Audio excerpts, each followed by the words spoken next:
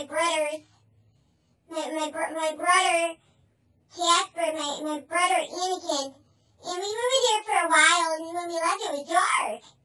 So my mother was holding my sister Brandy because she gets confused and she takes off all the time. So my parents have to hold her when we go in the car.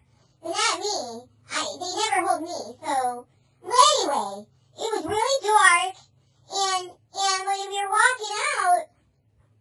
I, I saw a rabbit. you know, I thought, I thought it was a giant piece.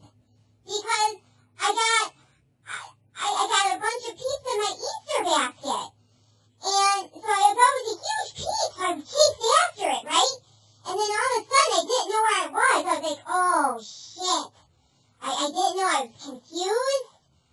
I was so scared. I couldn't see. I didn't have my glasses on, so I couldn't see. It was dark. I, I didn't know where I was, so I was running around in circles. panic and I, I, I was just, oh my gosh. So I was going up to all these houses because I thought they my grandparents' house. And then I could hear my mother say, Britt Britt, Bibbit. She was from a distance and she got closer, Britt Britt.